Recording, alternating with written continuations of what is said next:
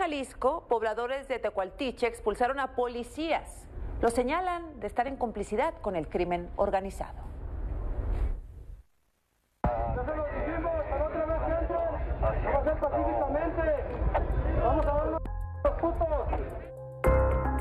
Pobladores de Teocaltiche, Jalisco, confrontaron y expulsaron a policías estatales a quienes acusan de tener vínculos con la delincuencia y de permitir el asesinato de un joven de 24 años de edad este domingo.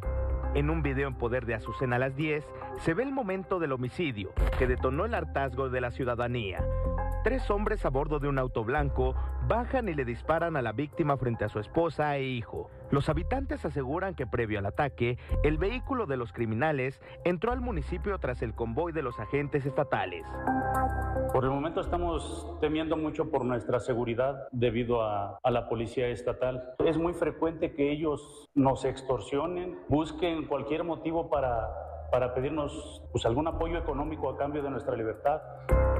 El lugar vive bajo la amenaza del cártel Jalisco Nueva Generación, que el fin de semana irrumpió al municipio y aunque militares y guardias nacionales reforzaron la seguridad y lograron frenar el avance del grupo criminal, no confían en la policía del estado.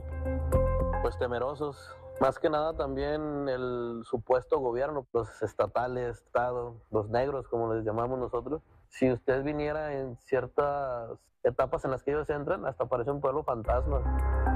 Ahora la postura de los habitantes es clara. Si son policías estatales, no les permitirán patrullar más en sus localidades. Lo único que queremos es que ya no vengan, queremos al ejército y a los de la Guardia Nacional.